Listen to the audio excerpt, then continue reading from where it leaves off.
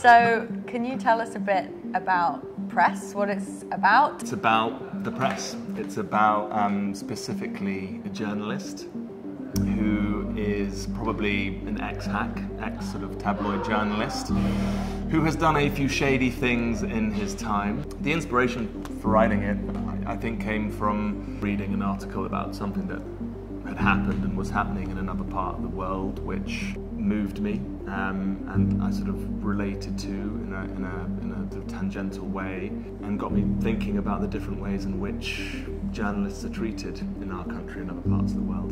People will go to quite severe lengths at times to get a story that they think will sell papers. And this, you know, at the upper end of the scale might include little things like exaggerations or guiding people to, to give them sort of the stories or the quotes that they need. And at the very murkier end, it includes things like phone tapping, um, impersonating policemen or doctors. I think there's just a very important conversation to be had at this moment in time because of disinformation, because of the rise of fascism and all of the kind of global sort of forces that we're seeing about you know what role the media has to play in the world you know how much can the media ever be you know the arbiter of truth how much is it always going to be the weapon of the powerful it's funny it's sharp, it's ultimately moving, and it's only an hour long.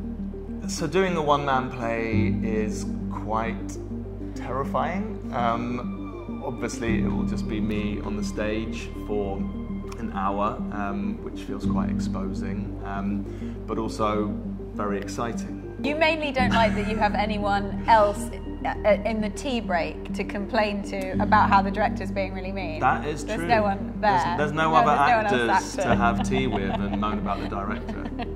there's only me. That is you difficult. can't complain it's to true. me about me. Maybe we'll try it tomorrow. yeah.